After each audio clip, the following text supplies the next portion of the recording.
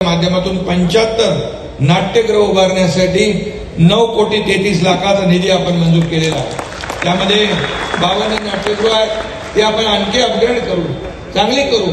आणि नवीन जी आहे ती अतिशय चांगली करू. त्यामध्ये एक कमिटी आपण स्थापन करू.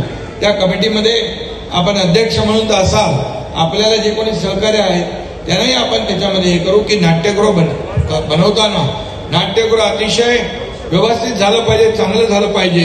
आणि त्यामध्ये आपल्याला कुठली पुढे भविष्यात तक्रार येता कामा नये यासाठी आपण नक्की प्रयत्न करू त्याचबरोबर इथं दोन हजार सीटचं थिएटर आहे. मग सांगितलं बंद पडलंय. कलेक्टरांना सांगितलं त्यांनी आधी सुरू सुरुवात केलेली आहे. ते लवकरात लवकर सुरू होऊ दे डीपीडीसीमधून आपण पालकमंत्री त्याला पैसे द्या. आणि इमिजिएट ते करून घ्या. कारण दोन हजार सीटचं ते महाबळेश्वरमध्ये. आणि किती रसिक आहे तिथे. भरपूर आहे.